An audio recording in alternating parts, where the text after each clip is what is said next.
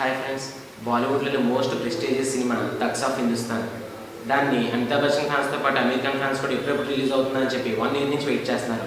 చిట్ట చివరికి ఆ సినిమా ఇవాళ రిలీజ్ అయింది. ముందుగా సినిమా గురించి మాట్లాడుకున్నట్టయితే సినిమాలో అమితాబ్ బచ్చన్ యాక్టింగ్ అయితే సూపర్ దానికి తగ్గట్టు అమీర్ చాలా నిండు షేడ్స్ ఉన్న character at the same time కొంచెం కన్నింగ్ గాను కొంచెం క్రూయల్గాను కొంచెం సాఫ్ట్ గాను కొంచెం హార్డ్గాను కనిపించే క్యారెక్టర్ అనమాట మామూలుగానే అమీర్ మిస్టర్ పర్ఫెక్షనిస్ట్ ఈ సినిమాలో ఆయన గురించి చెప్పుకోవాలంటే సినిమా కోసం ఎంత దూరం వెళ్ళడానికైనా ఆయన రెడీ. ఈ సినిమా కోసం ఆయన ప్రత్యేకంగా ముక్కు పుడక మరియు చెవులీలు కుట్టించుకోవడం జరిగింది. ఈ సినిమా కోసం ఆయన ప్రాణం పెట్టి చేశాడు. ఈ సినిమా కోసం ఎంత కష్టాన్నైనా భరించడానికి ఆయన ముందుకు నడిచాడు. ఓవరాల్గా ఈ సినిమాలో అమితాబ్ బచ్చన్ క్యారెక్టర్ని ప్రతి చోట డామినేట్ చేయడానికి అమీర్ ఖాన్ ఎంతగానో ట్రై చేసినట్టు కనిపిస్తుంది. ఓవరాల్గా ఈ సినిమా ఓపెనింగ్స్ కనుక చూసినట్లయితే మనకి Hollywood cinema pirates of Caribbean గుర్తొస్తుంది. ఓపెనింగ్ సీన్స్ అలా ఉన్నప్పటికీ సినిమా ఎక్కడా దానికి సంబంధం లేకుండా మంచి ఎమోషన్స్ మంచి సస్పెన్స్ మరియు మంచి థ్రిల్తో ముందుకు సాగిపోతూ ఉంటుంది. ఈ సినిమాకి ఇంకో గొప్ప విషయం ఏంటంటే యాషాస్ ఫిలిమ్స్ బ్యానర్పై ఆదిత్య చోప్రా ప్రొడ్యూస్ చేయడం జరిగింది. సినిమాకి డైరెక్షన్ కూడా విజయకృష్ణ ఆచార్య గారు చేయడం జరిగింది. స్క్రీన్ ప్లే డైరెక్షన్ మరియు స్టోరీ రైటింగ్స్ కూడా ఆయనే చేయడం జరిగింది.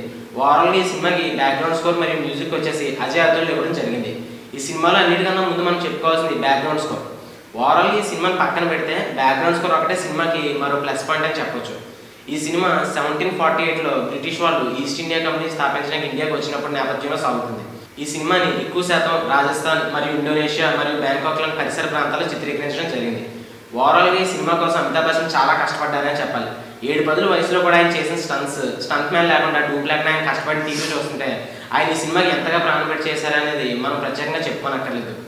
ఈ సినిమాలో మరో ముఖ్యమైన విషయం ఏంటంటే వీళ్ళిద్దరూ ఈ సినిమాని నెక్స్ట్ లెవెల్ తీసుకెళ్ళారని చెప్పాలి.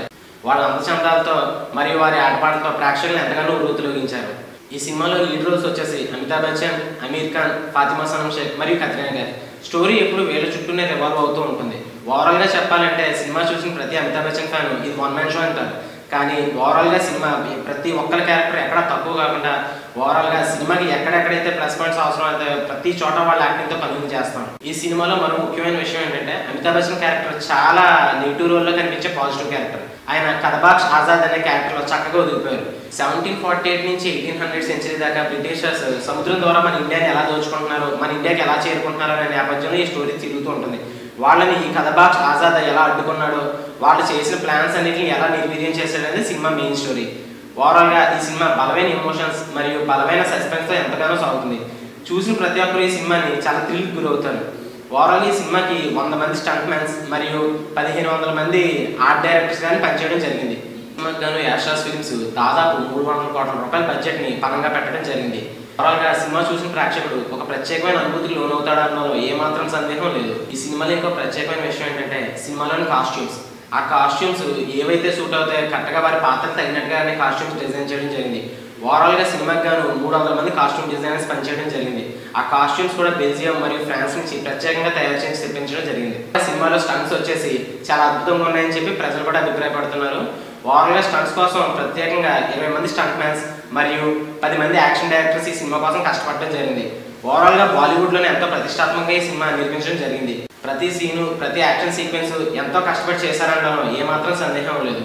ఓవరాల్గా ఈ సినిమాకి మా టాలీవుడ్ నగర్ నుంచి ఇచ్చే rating three point five out of five if you like the video please like us and subscribe Tollywood Nagar